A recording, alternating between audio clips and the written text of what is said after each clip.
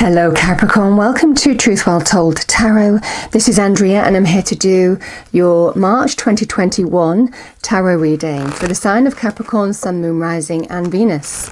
So let's get straight into your reading and pull your overarching energy or message for the month. So, what do we have for Capricorn, please? Angels, spirits, guides, message for our lovely Capricorns, March 2021. What is the overarching energy or message? Thank you, that flew out. Capricorn, we have the Three of Swords. I'm going to clarify that.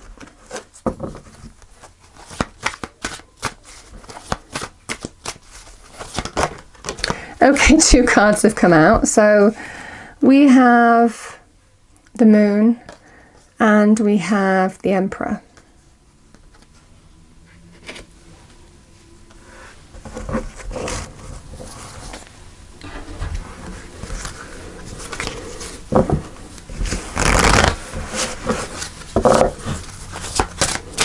So, what do we have for Capricorn, please? Angels, spirits, guides, message for our lovely Capricorns. Thank you. Yeah, we have recovery.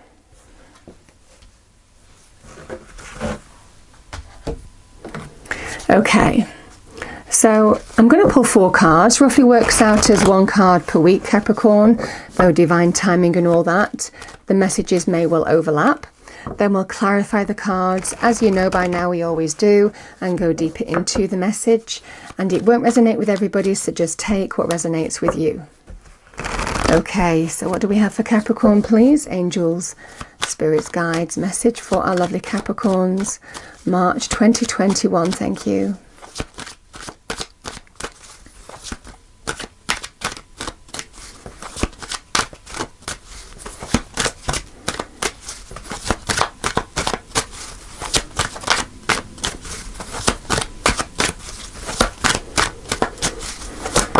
You, that flew out. We have the Ten of Swords. I mean, it doesn't surprise me with the Three of Swords appearing. Um, we have the Empress, which is very beautiful, Capricorn. Yeah, the world. And Knight of Swords. Okay.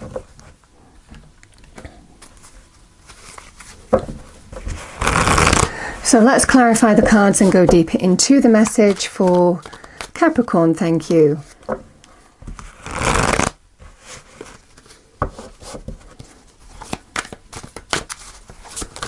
What do we have for Capricorn, please? Angel Spirits Guides. Can we clarify the cards on the table for Capricorn? Oh, I'm just going to take the one that's turned up. So we have the Sun. Very nice with the Ten of Swords. Okay. Temperance clarifies the Empress. The a lovely energy, Capricorn, the Nine of Pentacles. And again, it's Earth energy, which is your energy. Uh, the Knight of Swords. We have strength and the magician lots of major arcana in this reading.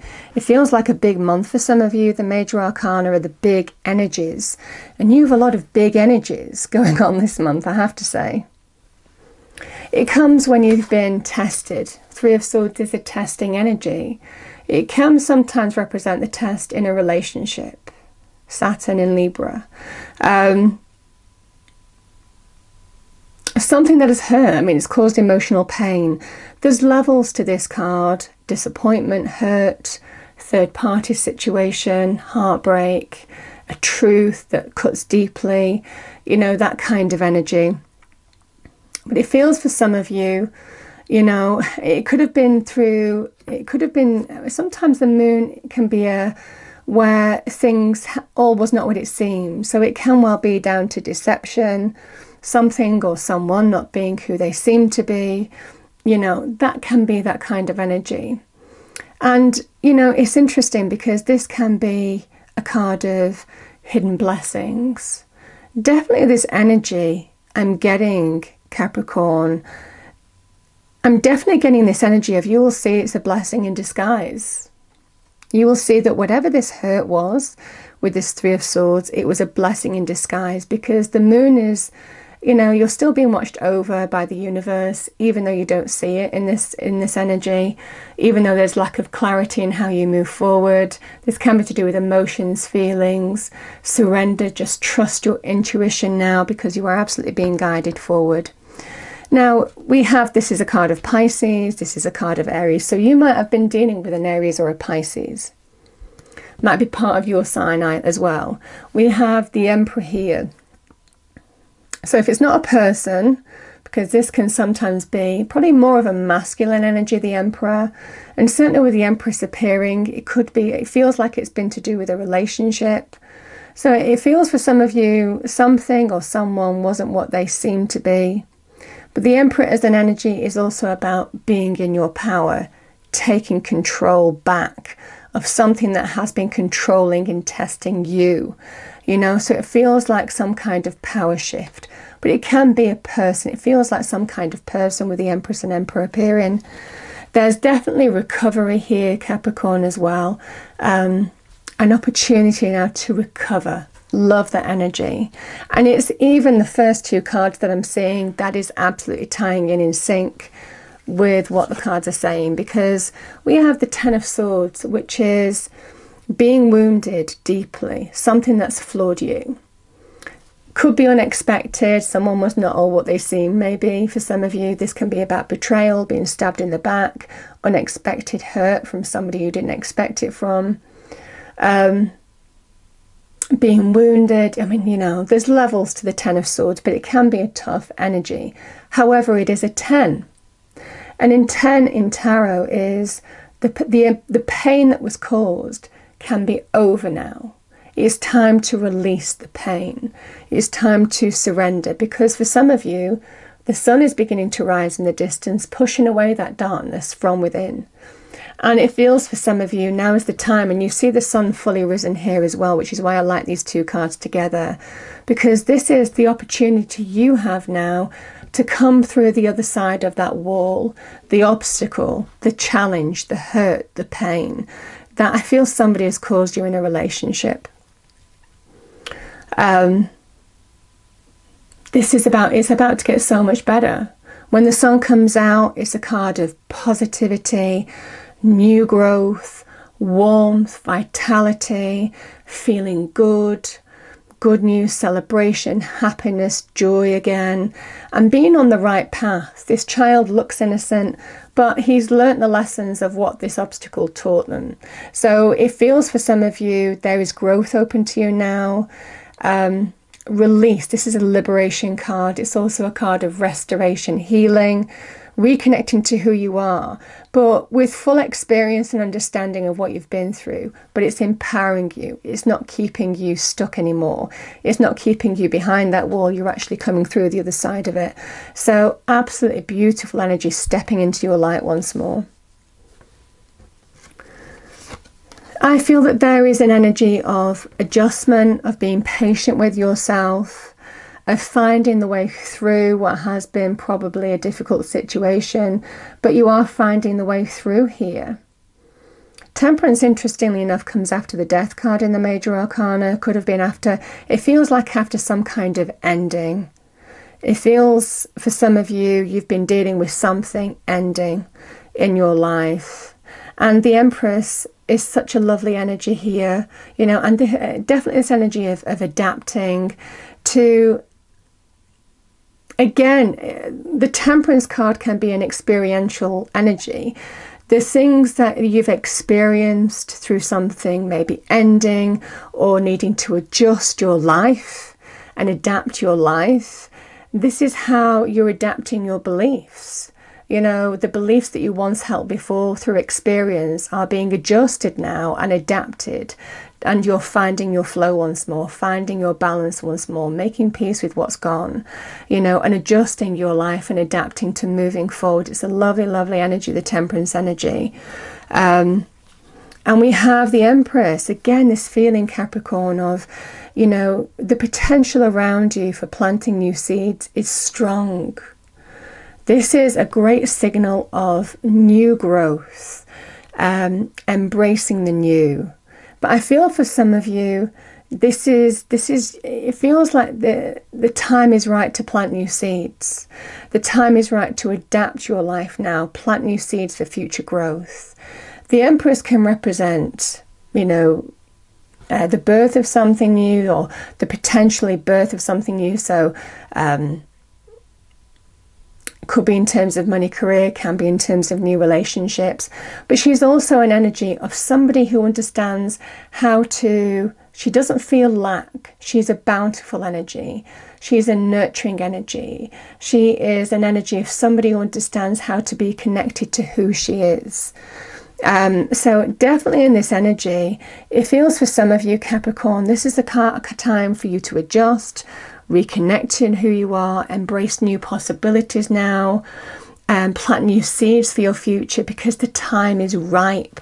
Everything is ready for you to to to create a new reality for yourself and adapt. You know, it feels very beautiful here, very bountiful as well. She is a, an abundant energy. There's final closure here definitely an energy of what has tested you. And again, Saturnian energy here. We had Saturnian energy with the Three of Swords. What tested you here, you're done with. You've learnt the lessons, but it's not holding you hostage anymore. You're stepping through to a new phase of your life. It's a lovely energy. Um, it's an energy of accomplishment, victory, conquering that which kept you stuck, that which kept you flawed for a period of time. This is coming through the other side of it, conquering it. It feels very beautiful. It's also a very good card of, of goal achievement, some kind of achievement here. So, you know, again, we have the, the Nine of Pentacles, which is a card of money as well. So it can well be for some of you, there could be some financial achievement here this month. Um, because this can be a personal achievement card in terms of money, career, the Nine of Pentacles too, fulfilling your potential. But this is also about fulfilling your potential in terms of self worth, self capability, standing in your own right, in your own independence, and feeling pretty good and empowered about it. You know, providing for yourself and acknowledging your own sense of self, self worth. You know, it's a beautiful, beautiful energy, of the Nine of Pentacles. So it feels that there has been some kind of relationship challenge that you've experienced, Capricorn. But definitely this energy of finally, that is the end of the situation and I'm not going back. I mean, there's a finality to this. So for some of you, it feels that you are standing in your own right, in your own you know, empowered energy here, feeling pretty good about it. And that's what the sun is saying. there's so much better to come for you. Things are going to look up, even though you might not see it here, even though there's lack of clarity with that moon energy. The Knight of Swords. Um, and the Strength card. Now, the Strength card is a card of Leo. The strength card is about connecting to your own power, your own strength. And when do we need strength? Well, we discover our strength and power when we face adversity, when we face challenge, when we face obstacles. And you know, the strength card is about being in your power to overcome something now. And it definitely feels you're dealing with this, it's a process of dealing with this situation in March. But, you know, this can also be about your thought patterns as well. You know, mastering your thoughts, how you perceive something, how you think about something. There's definitely this energy of just dealing with it. It feels like the final residue of thinking of something that may have challenged you negatively and what have you. And the Swords energy, the Knight of Swords, is about clarity, finding direction, making progress, moving forward, inspired action. You know, that is the Knight of Swords energy. So it feels for some of you any kind of like challenges in your thought patterns or behavior they're absolutely being resolved. You know, you are finding direction, you are getting clarity in how you're moving forward and bringing change to your situation. This can also be about news. Um, messages, you know, some piece of information coming here that is bringing swift change. Because again, the magician is a communication energy as well. So there could be some communication towards the end of the month here, Capricorn, that brings some kind of swift change in your circumstances. I mean, that could be to do with, with any area. Um, the magician is a new path unfolding. Um, so there's definitely an energy of getting clarity in terms of the direction that you're going in and what you want to manifest. Remember, he is all about focused intention. What is it that I want to change? Because now is the time to bring change to my situation, big change. Because the magician is you have all the resources, the power, the capability, the focus. Um, you know, the pentacle, the cup, the sword, the wand on the table, all the practical resources that you need combined with, you know, the rod that conducts the energy of the universe, blessing you to to manifest and work your magic to create um, whatever you set your intentions on. So it's a lovely, lovely energy of. It sometimes happens. The magician. It's about timing, uh, the time. What is it that you want to manifest? Because now is the time to manifest. Again, there's such potential around you to plant new seeds. This is about taking inspired action, um, ready for that new beginning, new start, new path unfolding. Um, he's under, somebody who understands how to change base metal to gold, an idea to reality, um, a negative to a positive. So, definitely by believing in your own power, your own capability here as well, you have the power to bring positive transformation to your situation now and create a new path. He is a new beginning energy. So it feels very empowering this month. Definitely, I can see recovery in the cards. It definitely feels like you've been, I mean, the, the, the Empress and the Emperor feel like it's almost kind of like a power couple. Um, but it, it feels in this situation, Capricorn, are you going to be okay on your own? Yes. You know, are you strong enough and capable enough? Yes. Do you have the resourcefulness to create a new path for yourself and a new plant new seeds? Absolutely. I mean, there's absolutely beautiful, powerful energies here that are just reminding you to connect to who you are. Absolutely beautiful. I don't normally do this, but I'm going to pull one more card. I don't normally do this for the monthlies, but let's pull one more advice card. Any other advice for Capricorn, please?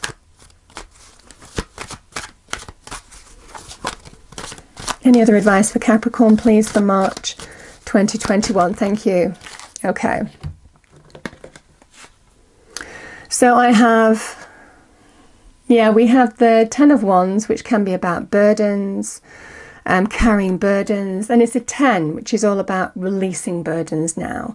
Something is has the opportunity to be over, release the burdens. The Page of Pentacles can be a card of manifesting a new path. Um, that could be money career, that could be in terms of what's going to bring you stability, security, um, opportunity, you know, what resonates for you. And the Six of Cups, it feels in this situation, Capricorn, feels like you're reconnecting to who you are. You know, Six of Cups can be about revisiting the past, but it can also be about if there is nostalgia or if you're looking back. The message here is it's time to release the burdens and look forward, reconnect to who you are, find your inner joy again. Because yeah, 9 of cups is you know, a card of a wish coming true, but it's a card of feeling happy and content in your own right. It can be a celebratory energy, but it's a card of somebody who uses that red hat, which is remember the red in tarot is inspiration and action. Um, so inspired mental acuity, mental uh, thoughts and acting on them to really bring great happiness and fulfillment and contentment into your life. And the nines generally are solitary figures. They sit in their own right when they're, whether they're in a relationship or not. And It feels that there's an element of independence here, sitting in your own happiness, your own um, achievements, your own resourcefulness, uh, creating your own happiness, you know? So it definitely feels that there are greater, happier things to come for you.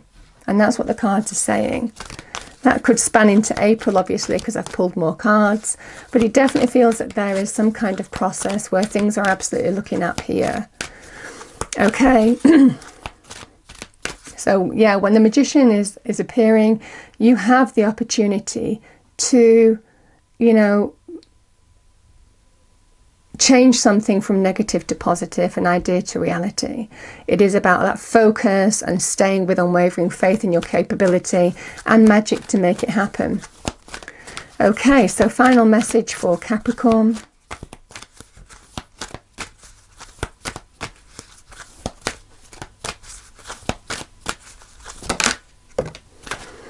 I like this because the purity energy, I mean, you can see the white in that card. It's a cleansing, it's a purification, it's a cathartic energy, you know, uh, purging the past, that sense of renewal and rebirth. So we have purity, always trust the purity in your heart. Look inside your heart, and within it, you will find the answer to your question. Nice energy there. So I hope you enjoyed the reading, Capricorn. If you did, please do like, share, and subscribe. I hope it's a wonderful month for you all, and I will see you next time. Thank you.